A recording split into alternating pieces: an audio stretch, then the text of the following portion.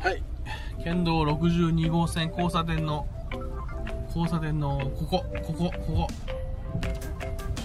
醤油豚骨ラーメン風太ここにねデカ盛りラーメンがあるという情報を得たので今日はねここに挑戦しに来ましたよ。なんかねバカみたいな持ったラーメンがあるらしいですよ。ここにそれを食べに来たわけですね。入り方がわからん。